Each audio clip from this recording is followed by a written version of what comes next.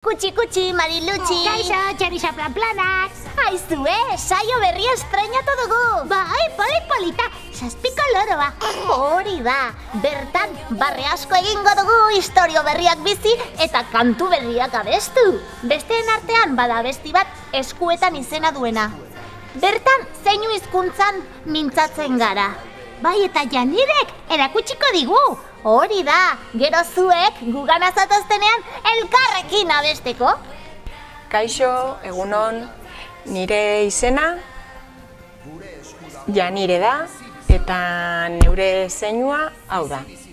Nik Euskal Gorrak eh, Federazioan lan egiten dut, pertsona gorren elkarteen Euskal Federazioa dana.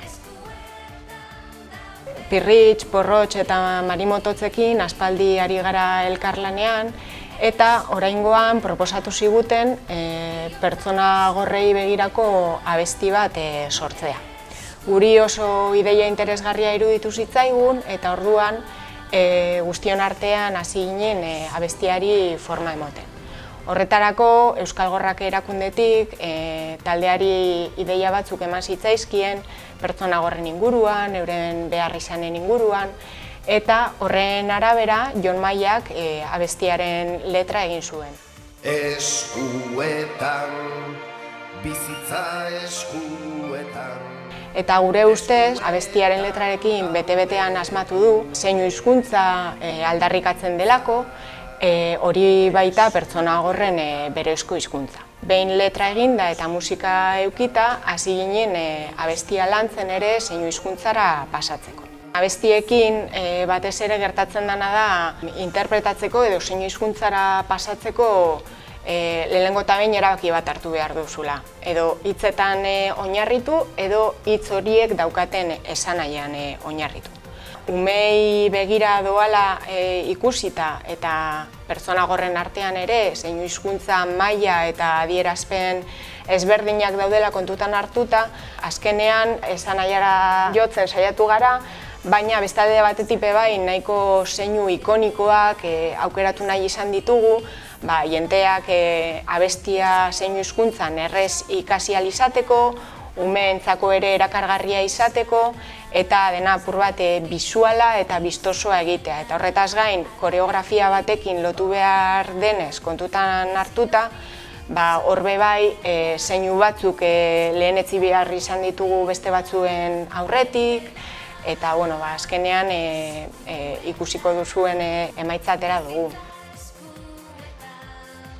Bestalde, e, argi utzi nahi dugu, e, abestian esaten diren hitzak ezin direla zuzenean e, momentu horretan e, zeinu esaten ari diren zeinuekin zuzenean erlazionatu. Estrofa batean esaten da, eskuetan eta guk hori e, eskuetan eginez eskuak aurrera eramanez e, identifikatu dugu edo zeinu hizkuntzan holan esan dugu berez eskuetan zeinu hizkuntzan era askotara alda esan, eskuak lan e, erakutziz, baina hau ikusten genuen igual txalo egiteko zeinuarekin konfunditu alzela. Bizitza eskuetan esaten da.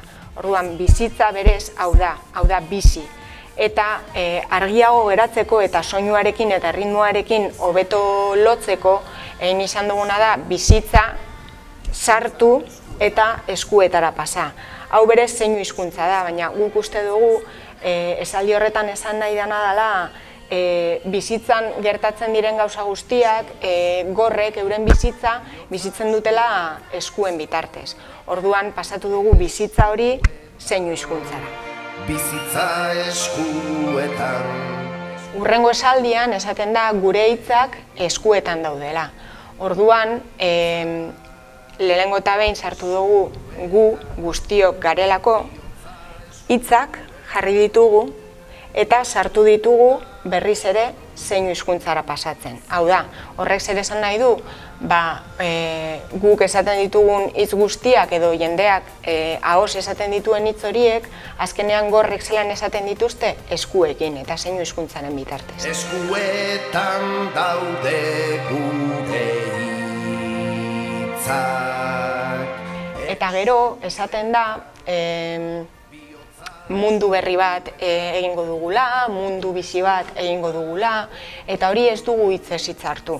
Horretan, esan aira eta geuk interpretatzen dugun mesura joan gara, eta e, esaten duguna e, literalki da, ba, berez, e, zeinu hizkuntzak indarra daukola, eta e, indar horrek bizitasuna emoten duela, eta horri esker mundua aldatu dezakegula, eta aldatuko dugula. Gure esku dago mundu bizi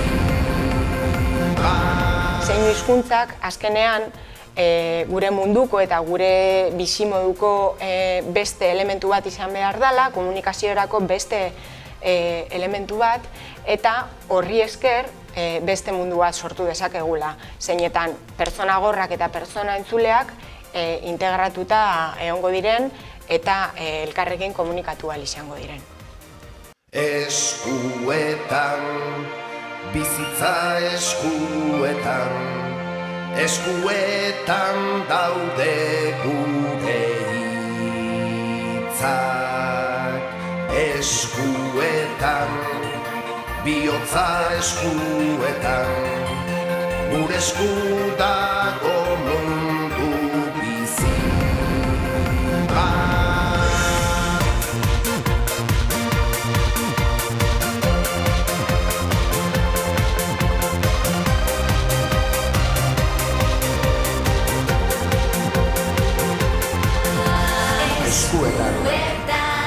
hizkuntza eskuetan,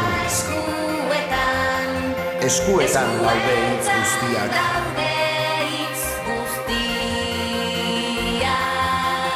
Eskuetan, bihotza eskuetan, gure esku dago mundu bizi-bizi bat. Bizi-bizi bat. Bizi bat